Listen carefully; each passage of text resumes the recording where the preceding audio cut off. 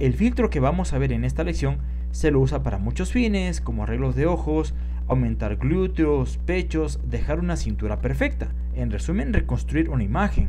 Me voy al menú filtro, voy a poner licuar. Espero unos segundos que se cargue y en la barra de herramientas puedes utilizar cualquiera de ellas. Yo me voy a quedar con la primera y voy a empezar a distorsionar esta imagen a mi conveniencia. Ahora me voy a los ojos y también puedes hacer este tipo de cosas bastante locas, bastante chéveres, increíbles, distorsionadas y hacer lo que realmente te venga en gana. Una vez que crees que lo has tenido, en la parte derecha te vas a reconstrucción, das un clic.